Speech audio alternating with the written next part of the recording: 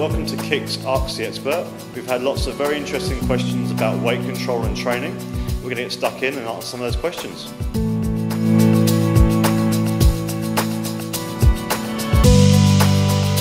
Patrick's asked the golden question and we get asked a lot. I'm really time poor. How do I fit my workouts in in a stressful, stressful day in life? I think the best thing is find something you love doing. That's the most important thing. That way you'll want to do it. Um, and what I find is short interval sessions in the morning pre-work is a really quick way to get your workout fixed. So say doing 30 seconds for very high intensity followed by two minutes rest, maybe six sets, and this could be running around your block doing these intervals will actually give you the quick fix, give you all the stuff you need, and then get you ready for work.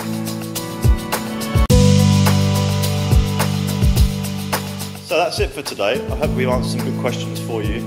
Have a good think, come back to us with some more questions. We're here to answer them for you, and our list of uh, panel will come back to you with some good answers.